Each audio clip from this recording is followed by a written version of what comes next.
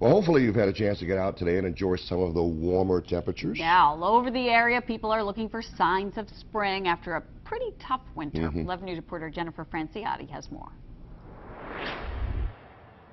With the sunrise over the inner harbor, we found unmistakable signs of spring. The first buds pushing up from the ground with the promise of flowers to come, and birds chirping here on Federal Hill. And people out all over enjoying the warmer temperatures. It's wonderful. It's about time. it's really nice to have the warmer temperatures.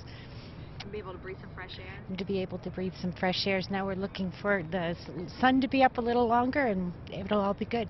I am very excited. I'm I have enough with the cold weather already. I mean, it's just too much. I love cold, but not this cold. We found walkers and joggers, some folks still in coats, but others in t-shirts, even shorts. It's nearly too warm for the jacket. I mean, you could eas easily go without it. You're just afraid it's a little cool when you stop. You might need it. And dogs, we saw dogs galore. Owners also happy not to be freezing. It's making life a lot easier. The salt was really getting to their pads, so uh, in fact, I still have the little dog booties on one of them because their feet were so raw from the salt. At Druid Hill Park, more of the same, people enjoying the fresh air and getting their workouts in. And for those who work outdoors, a gift. The ground nice and soft for digging holes. I love this outside wet work. We couldn't do it because it was so cold and stuff like that. So this is a chance we get out here and enjoy the nice weather as we can because mm, old man winter's coming back Thursday. Don't want to hear it. Jennifer Franciotti, WBAL TV 11 News.